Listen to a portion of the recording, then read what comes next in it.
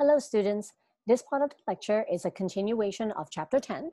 And today's lecture, I will be focusing on the different types of inheritance that are involved in the inheritance of body traits. Um, if you can, please download and print out the next two slides for uh, note recording, and it looks like this.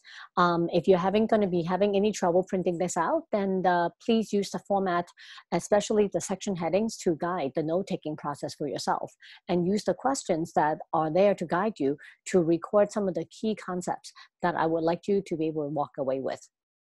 All right, so up to this point, um, we have talked about Gregor Mendel's work. And the main focus of the last lecture was on the pea plants that he had studied.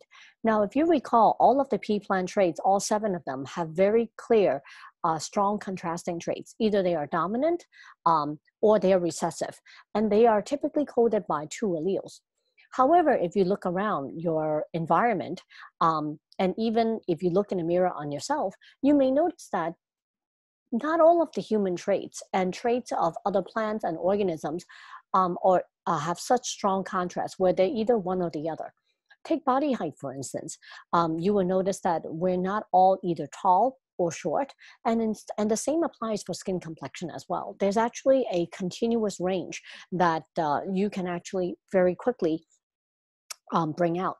So are all traits really governed by just dominant and recessive traits? Obviously, the answer is not. If you take a look at the snapdragon flowers that is in front of you on this slide, you may notice that the snapdragon flowers come in a variety of colors. As a matter of fact, for the snapdragon flowers, the red color is a dominant trait, whereas the white color is a recessive trait. And the offsprings that when you cross these two plants together, they will actually produce the pink color that we see in oftentimes in the uh, bouquet flowers that are comprised of snapdragons. So what exactly is this? This is a type of inheritance known as incomplete dominance, also known as blended inheritance. This is where the phenotype of the parent's generation um, gets combined and the offspring, it's a blend between the two. Now, typically we could record the genotypes for each of the parents using capital letter R, capital R to represent the red color snapdragons and R prime, R prime to represent the white color in this particular snapdragon.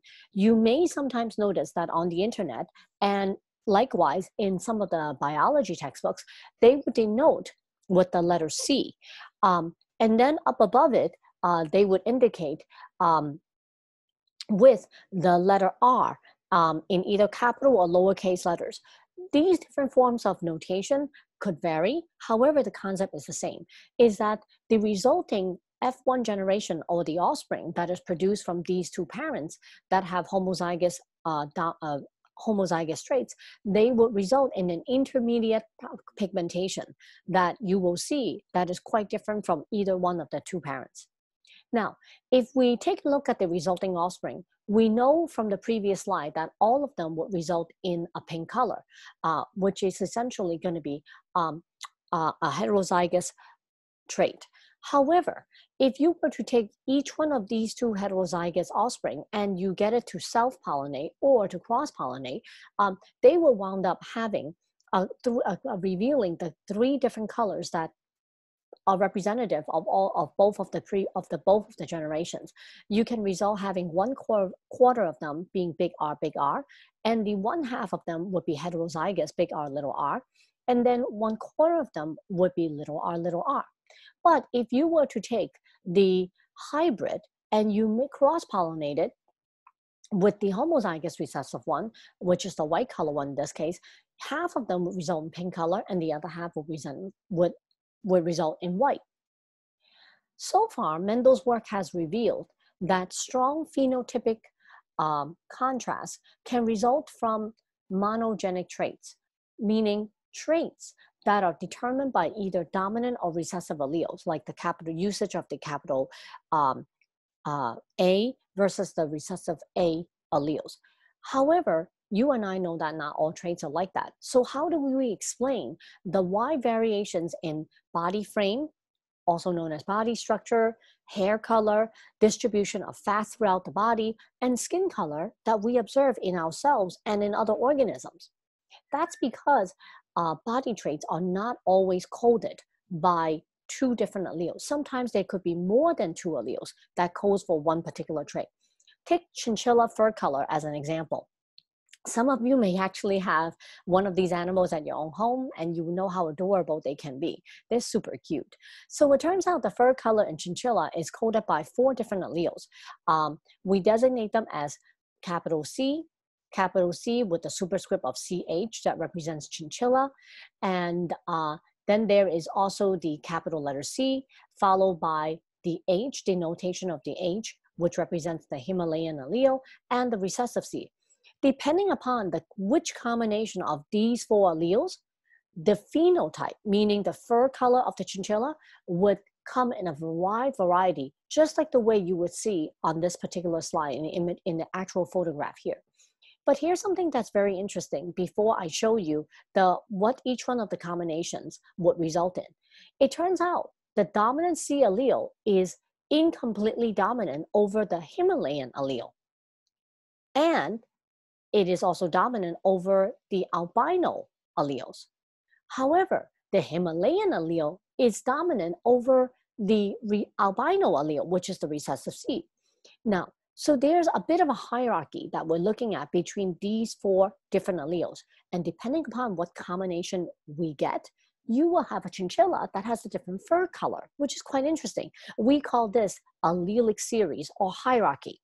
And you typically would find them based on the different combination of genes in the offspring. So let's look, look at a real life example. So here are the four different alleles that I mentioned earlier. The dominant C, the C with the chinchilla allele, and C with the Himalayan allele, and the recessive C.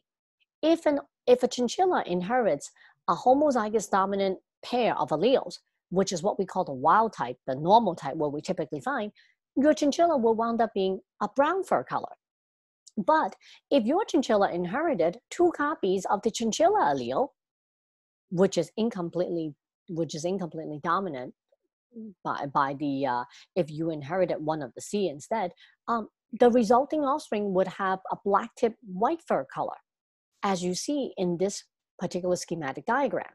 But if your chinchilla inherited um, the two copies of the Himalayan allele, well then your chinchilla will have white fur with black paws.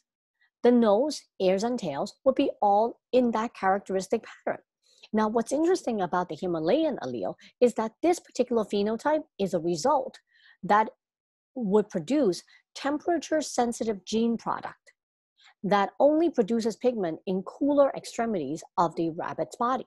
So in this particular case, you see these pigmentation being deposited is because of this temperature sensitivity um, of the gene.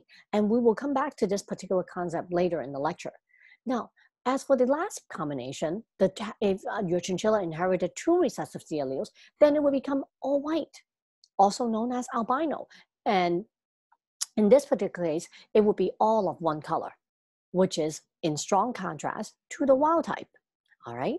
Now, what about human blood type? How do you explain that one? Now, this is one of the part of the lectures that I would really like you to give a little bit of a thought and try some things out in between. So let's begin. Um, as you already know, the human blood type, we have four of them. There's type A, type B, type AB, and type O. It turns out there are four different alleles that can be coded. There are three different alleles. I misspoke. There were three different alleles that can code for this blood type. And depending upon the combination of which two of these three, it will result in a different blood type, as you'll see. So if you didn't know, if we let capital letter I represent the dominant allele, which represents I stands for immunoglobulin trait, which is the dominant trait, and the lowercase i represents a recessive trait, well then, knowing that we have both blood type A and blood type B in humans, how do we denote that? It turns out this is how we distinguish it. We will write down capital letter I, followed by a superscript of the letter A. That denotes an allele that's going to code for blood type A.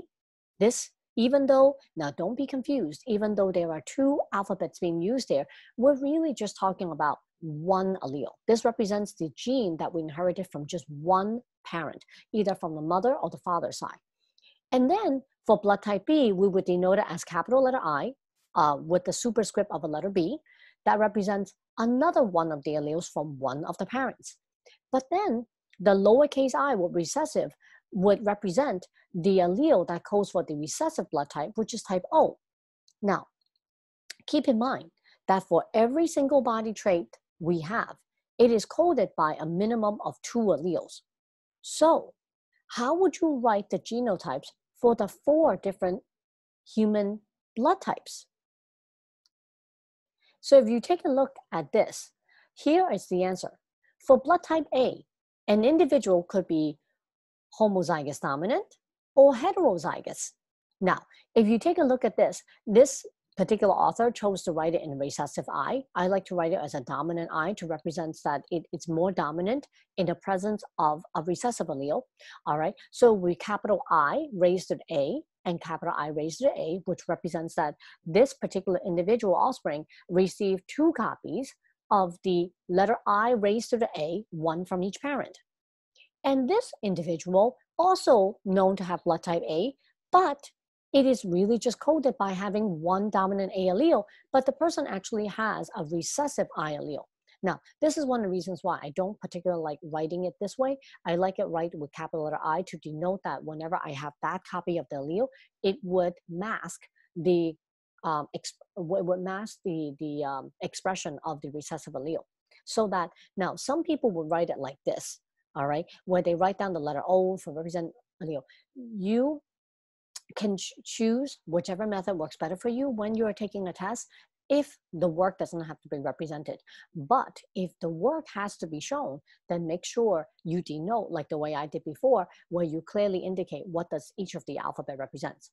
Now, carrying on, blood type B, this individual can also be either homozygous dominant or heterozygous dominant, in which case, if it's homozygous dominant, it's capital I raised to the B, capital I raised to the B, or capital I raised to the B followed by a recessive I. In neither way, because there is the inheritance of at least one dominant allele, which is designated by the capital A or capital B in this particular case, then you know that blood type will be expressed.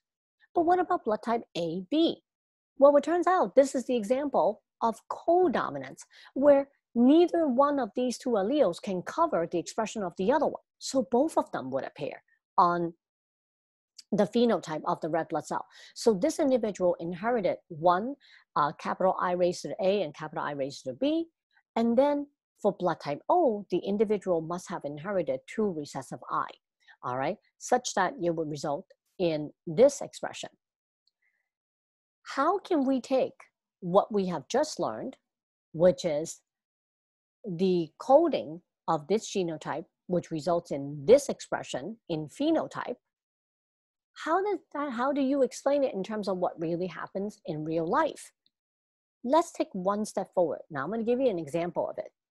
So far we have indicated that for an individual who has blood type A, there are two ways of getting it. The same is true for B, but there's only one way to get blood type AB and one way to blood type O.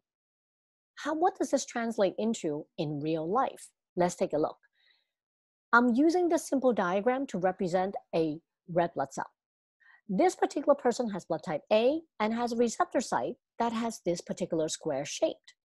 Now, can you tell me, based on your background knowledge, if somebody has blood type A, what kind of possible blood transfusion can they receive? If you are thinking about blood type A again, you are correct. But Many of you also know that blood type O also makes sense. You're right if you're thinking along these lines. So the answer for this particular box right here would be blood type A and blood type O. So how does this individual who has blood type A block blood type B from entering its body cells? And if it does, how can it clot it? Hmm. So here's a little hint for you. This is a type of plasma protein that an individual who has blood type A would be producing to ensure that if blood type B ever enters its body, it would be able to coagulate it so that it would clot it. So, what would then, if you know that this is the answer for blood type A and this is what the plasma protein might look like, so what do you think the receptor site or the for blood type B would look like? And what kind of plasma protein would blood type B individuals be producing? Well, what about the type of blood transfusion that blood type B can accept without injuring itself? What blood type can it not accept? In which case, what should the shape of this plasma protein be? Now, what about for people who have blood type AB? Remember, blood type AB is an example of codominance, meaning that both of these alleles will be expressed. Now, I already gave you the answer for blood type A. So if an individual with blood type A, they would have this particular receptor. So then what would this red blood cell receptor show? What would that look like? Now, if you're thinking that half of the part of the cell receptor should look like that, you are correct. But then what would the other half of the receptor sites look like? Remember, they both show up, they both express. And for individuals who are blood type AB, what type of blood transfusions can they receive? Many of you know the answer for this one that it would be blood type A, blood type B, blood type AB, and blood type O. They are known as the universal recipients. So if they can accept all of these blood types, what type of plasma proteins would they be producing? Would they be producing them? Think about it for a moment. And what about individuals who are blood type O? They actually inherited two recessive copies of this gene. So what would their receptor sites look like? what type of blood transfusions can they receive? Can they receive blood type A, blood type B, or blood type AB? Or can they only receive blood type O? If you're thinking that they can only receive blood type O, well, then you are correct. But then, what kind of plasma proteins would they be making such that they would block off the other blood types from circulating in their body? Hmm. Okay, would they be known as a universal blood donor or universal blood recipient then? Now, here is a harder question for you to think about. After when you are completely done answering and drawing all of these pictures for me and completely filling out all of these boxes, if a doctor has to donate blood from blood type A into an individual with blood type AB, which, which part of this person's blood would you be putting into blood type AB's body? Would you put both the red blood cells and the plasma protein? Would you only put the plasma protein? Or would you only put the red blood cells? Now, you should answer this question after you are done completing this diagram. So when I check your lecture note sheets this week, this is what I'm going to be looking for. And what I want you to do is write down on the bottom for me during blood transfusions, if what the person needs are red blood cells, what portion of this whole blood that is circulating in this person's bloodstream would you actually inject into your patient that has blood type AB. Think about that for a moment. And if you're planning to inject blood type O individual's blood into blood type AB patient, which portion of his or her blood would you put in here and why? If you look at these diagrams carefully, that should give you a sense as to how this whole process works. And if you're thinking, well, don't we use different parts of the blood um, for blood donation, you are right. It also depends on the circumstance.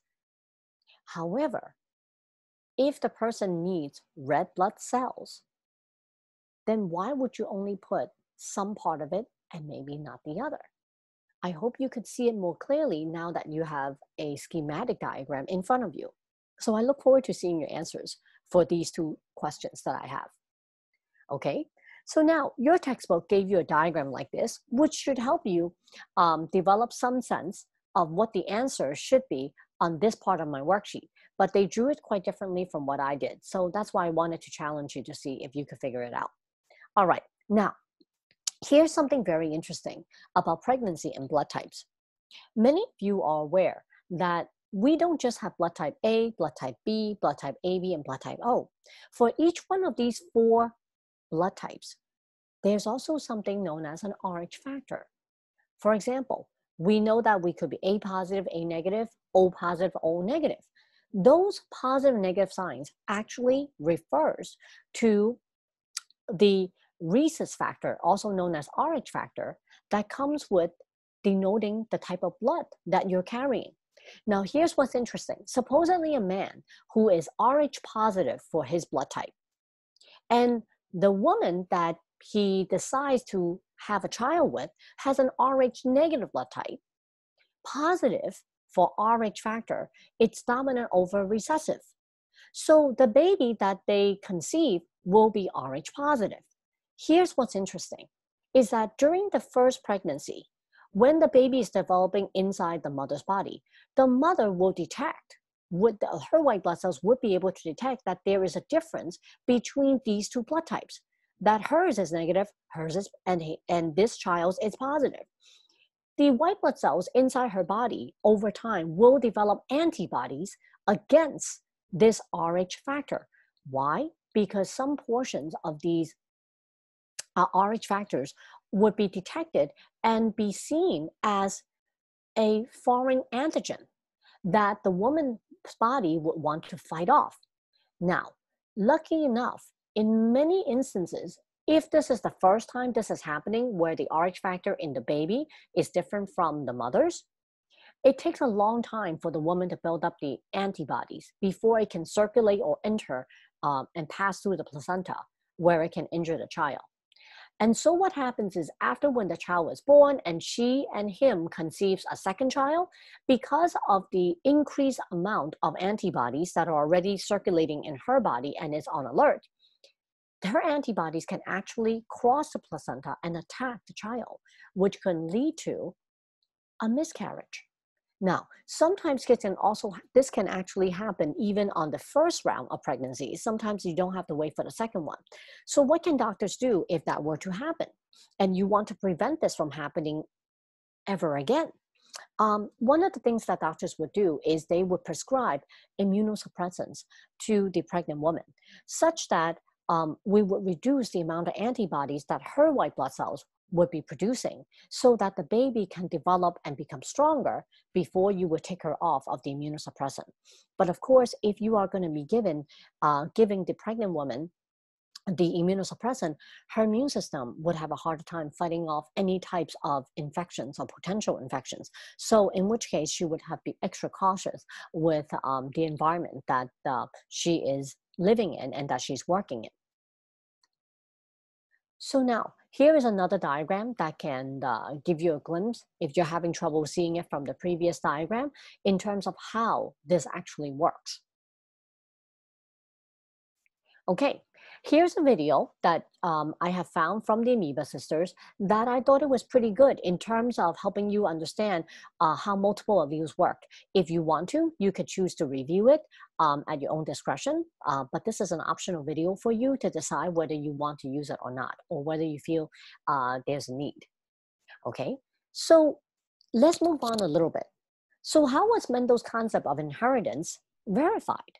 Remember, it was in the 1800s that Mendel had postulated that how all of this could be used to explain the observations that he had made in the pea plants in terms of pea plant height, flower color, seed pod texture, seed pod shape, all of the above, right?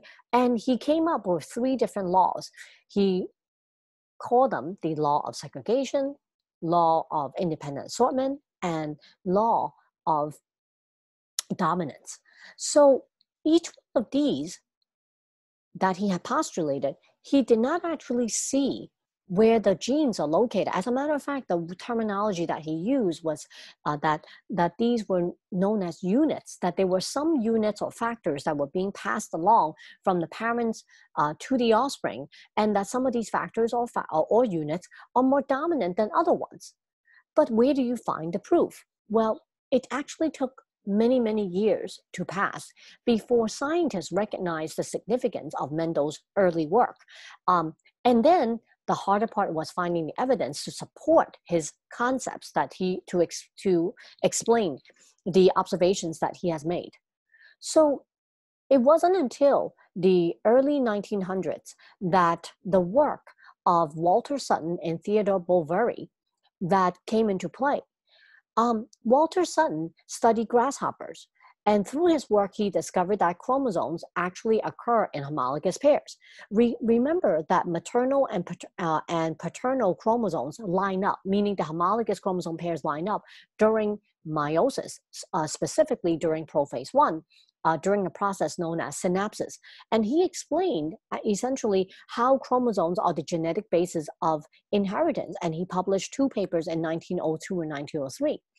The other work that was also that further helped supported Mendel's work because these are two gentlemen who did their work independently uh, from each other. Uh, Boveri actually studied sea urchins, and he discovered that all of the chromosomes had to be present during the embryonic development in order for, for an offspring to develop normally. Combined, both of combining both of their work the theory actually helps to explain the mechanism that underlie Mendel's law of dominance, law of inheritance, and law of independent assortment. Um, they also help to identify that uh, chromosomes are actually um, occurred in pairs, which is required in Mendel's law. And the theory also states that chromosomes are linear structures with genes located on specific sites, which are called loci um, along them. Um, here, there's a video from that is produced by the Khan Academy that I thought was um, quite good in terms of explaining the early works produced by these two gentlemen, which helps to show you the connection between Mendel's work and also Boveri Sutton's work. All right. Now, so what about sex-linked traits? How about these other traits that are related to one gender, to one sex versus the other one? Well, if that's what you're interested in, then we got to take a look at Thomas Hunt Morgan's work. His work actually led him to win the Nobel Prize in Physiology or Medicine in 1933. Um, this is actually a famous photograph that was taken in his laboratory uh, at Columbia University. Uh, where he had many, many different jars of uh, fruit flies that he was working with. Morgan's work is really significant because he demonstrated that genes which are the units that Mendel had talked about in his own publications, are carried on chromosomes, which Sutton and Boveri had mentioned in their theory. So essentially, Morgan further affirmed the work that was uh, proposed and verified by Sutton and Boveri independently. All right. So Morgan's work further ex- to explain the mechanical basis of inheritance and how it all happens. And his work actually formed the basis of modern science in genetics. Um, this is a very, very famous scientist whose work not only earned him his own Nobel Prize, but the biology, but a division of the biology genetics department that he later formed um, in Caltech um, led to the work of seven more Nobel laureates. Uh, some of his um, some of the students, the graduate students who wound up work in his, working in his laboratory, you will actually get to hear more about later on, um, uh, such as um, uh, Beadle Tatum's work. Uh, and also many others as well. So if you want, take a look at uh, some of the um, uh, biological uh, bibli uh, bibliographical references about his, his scientific discoveries. So for now, let's take a look at this, all right? He worked specifically with fruit flies. And the name of this fruit fly, the scientific name, is called Drosophila melanogaster. Now, these fruit flies are very interesting, in part because they're really small. As you can see from the previous photograph, you can keep many, many of them within a jar, and that can save you a lot of space because laboratory space is always a commodity. And they don't live that long, which means you could have many different generations of them uh, being bred inside your laboratory in a confined space, uh, their chromosomes tend to be really large and such that it makes it much easier for you to track and follow what happens during these um, fertilization processes. All right. Here are a few more interesting facts about these fruit flies is that the normal color for these fruit flies, also known as the wild type, it's actually red eye color. Now, here's again something about notation that I want to bring to your attention. You will find that in some of the um, when you do a Google search, some of the websites would use uh, the plus sign to denote the wild type. But in some other authorship, uh, you will find that the use of a capital letter W to denote the dominance of this red eye color in either case, they are synonymous. So uh, the important thing is the consistency in the way in which you use some of these symbols. So the red eye color, according to Morgan, what he observed is a dominant trait. And he, but he later discovered that there is a recessive mutation to this allele that actually can lead to a white eye color. So he denoted that with the, with the lowercase w or just the regular w. Now, what he did was that he crossed a red eye female, which is the wild type, with a white eye male. All right. And the resulting offspring, all of them came out to having red eye. And this is consistent with what Mendel has already observed in his principles of dominance, is that um, this shows that the red eye color, um, even knowing that there is a mixture in terms of the wild type and the recessive type, that all of the resulting offspring exhibited the red eye color allele. Now, the interesting part is how do you explain what comes afterwards? Morgan went on to do another experiment. Now, based on what you have learned about Mendelian inheritance principles, what do you think will happen in the next generation if you were to mate a female red eye fruit fly with a male white eye fruit fly? Think about that for a moment. When you're thinking about this, there is one thing that I want you to consider. How would you write the genotype for each of these organisms if you didn't know that the eye color is related to sex chromosomes? Or pretend that you didn't know that these eye colors are sex linked, meaning that these genes are located on the sex chromosome, specifically on the X chromosome for a moment. Now, if you did that, oops, sorry, there's a little typo here, should be a uh, W-H-I-T-E. If you did it properly, you may figure out that you would write something like this. You would use capital W, capital W represent one of the eye, red eye colors, and lowercase w, lowercase w to represent the white eye color.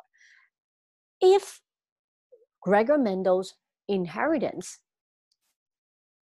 genetics was what you had fun following, then you would expect this outcome where all of the offsprings would be heterozygous dominant, meaning, meaning that they should all have red eye color. However, it turns out that was not what Morgan observed. When he crossed the red eye male with the white eyed female, what he found out was this two of them, half of them, which are all the females, had red eye color. But then the other half, which are the males, they all had white eye. And of course, he did this experiment multiple times to double check his own work. Each and every time this happened, it never came close to this result where you would expect all of them to have red eye. But how can that make sense when you are anticipating, based on Mendelian genetic calculations, that the red trait is dominant over white eye trait. How is it possible that you wound up with some of them having white eye and that they all happen to be males? How would you prove that your idea is right? So, this is how Morgan handled it. Morgan postulated that the gene for the eye color was actually located not on autosomes, meaning regular body chromosomes, but instead on the sex chromosome, specifically on the X chromosome. Why? Because you can see that the X chromosome is a lot bigger than the Y chromosome. And that if you make that assumption, then you would denote that genotype a little bit differently. Instead of denoting just the red eye color with the capital W, you would put that W right next to the X chromosome, which is why he superscript this one. And he denote that this is the male. So we write down XY and denote it with a capital, with the W, capital W. And that the female, which is XX, each one of them would carry the recessive allele, which is the lowercase w, lowercase w. And if you use that and applied it using the Punnett square, you will see that the female gametes, which has to be the same, X raised to the recessive W allele, but the, but the male could be different. One of them would be X raised to the dominant W, which is a capital W, and the Y, which does not carry the gene for eye color, would be left as is. And if you follow that and you complete the Punnett square, you will see that even though all of the females had red eye color trait, they are all heterozygous. And then for the male, you can tell that they are all going to be receiving the white eye color allele because the only way for them to be a male is if they get the Y allele from the father, from the male fly, and the other one must be coming from the female. So therefore, all of the female offsprings would end up having red eye color, but even though they're heterozygous, and all the males would result having white eye colors because their eye color is dependent upon the female fruit fly, which is their mother. And the only way for them to male is for getting it from the father, which is the male fruit fly. Now, this explanation shows that in this case, gender and eye color traits are linked they are not sorted independently from each other, which is a different type of inheritance that Mendel did not describe in his work. And that is where the discovery lies. Here is a video from Khan Academy that is pretty well made uh, that I would encourage you to take a look at for review and to uh, try to understand this a little bit more at your own pace and at your own time. All right? So Sex-linked, sex-linked traits. Well, how is sex chromosome determined? Here is just a reviewing slide for you. Um, here is an older slide that I have shown you previously. Here is the X chromosome. Notice how much bigger it is compared to the Y chromosome. It carries a lot more genes um, in it. In this case, the eye color in the fruit fly is determined on the X chromosome, and it turns out color vision in humans also happens to be found on the X chromosome as well and not on the Y chromosome all right? Um, if you had trouble understanding the previous slide regarding um, the experiment using the uh, male, the original first experiment that Morgan did, where he crossed the male red-eye fruit fly with the uh, female red-eye fruit fly who were heterozygous, then this is the resulting uh, result that you can get. This is another way in which white eye color flies can result in males. Okay, so if some of our body traits are linked to sex chromosomes, are there other factors that can affect the expression of other body traits? Well, yes, there is. So I have mentioned earlier in this lecture uh, using the word known as monogenic traits, which are the traits that Mendel had described, right? Where you have a very simple contrast in trait, well, where is one where there is only two alleles, uh, one is dominant, the other one is recessive. Uh, in which case, you could only have a phenotypic result of either one or the other. However, because some traits can be determined by multiple alleles, and depending on what combination you get, that is what we call polygenic traits. Um, and what they can, what they would result in a population, a large population, is a continuation of and a continuous variation of traits, where you can have um, many different traits that will show up. Like for instance, body height. All right.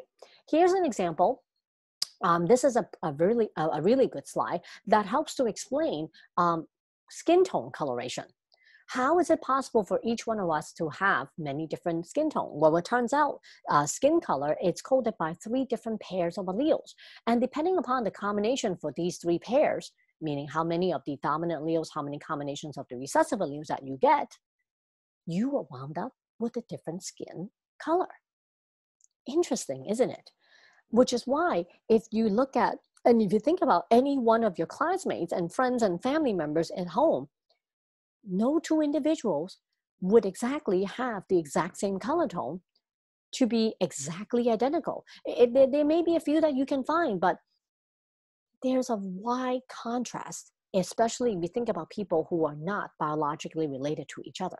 It is fascinating. And of course, you already know that there's a benefit to variations in color tone because in some of these instances the increased production of melanin which, are, which is what gives the skin color uh, the pigmentation can actually provide uh, varying degrees of protection against uv light so what about the concept known as pleiotropy well what that refers to is that there are single genes that can have multiple effects on phenotype. So when you have, depending upon the inheritance of what you get from this gene from your parents, that can actually lead to the expression of many differences, uh, differences in different body traits throughout your body that are coded by this one gene.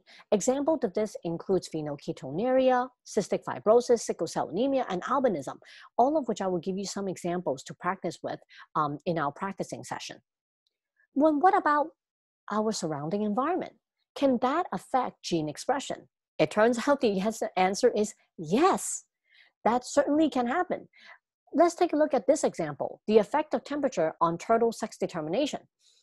When a turtle egg is formed and is being incubated, for the first 28 days, the formation of the gonads are pretty much the same across all the eggs.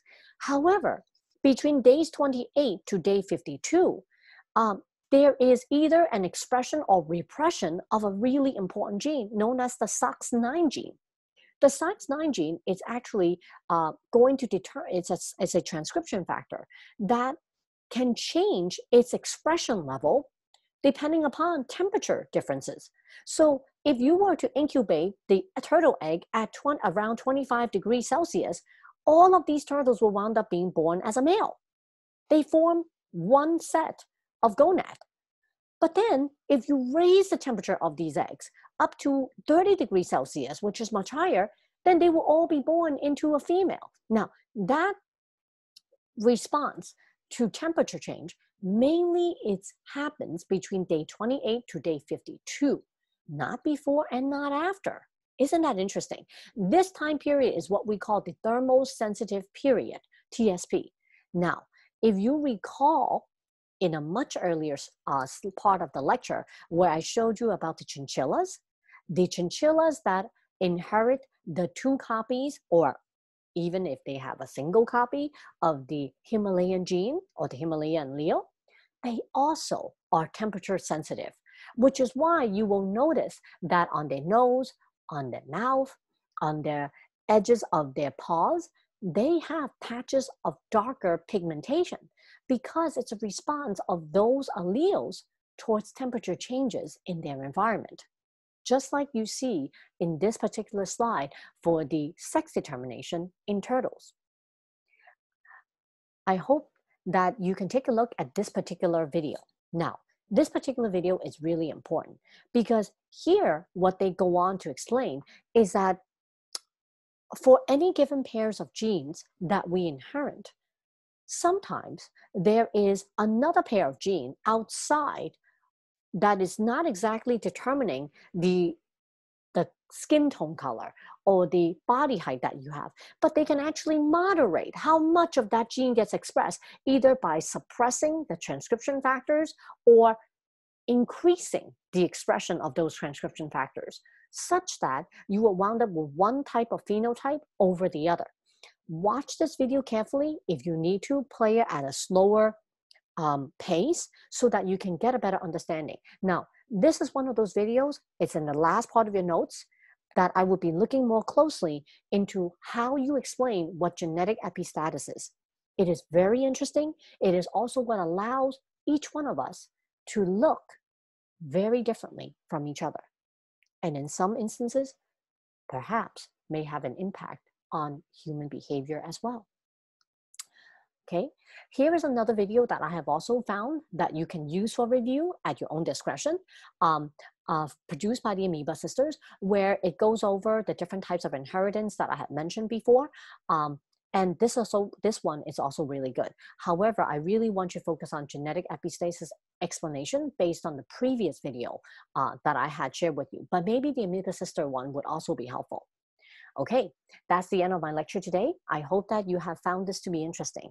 Take care, and I look forward to listening and hearing from you sometime next week. Take care. Bye bye.